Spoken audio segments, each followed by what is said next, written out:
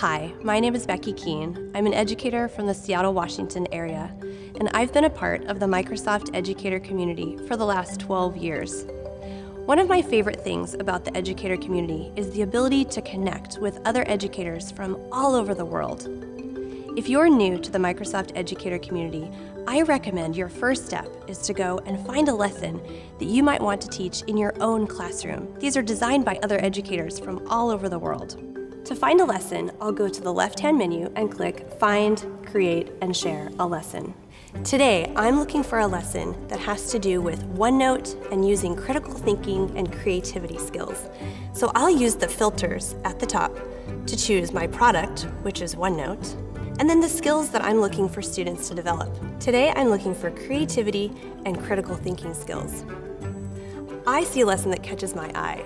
This is about creating a game in OneNote.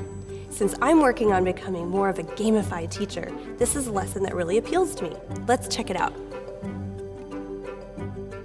This lesson includes learning objectives, a couple of videos, and even a template that I can use with my own class.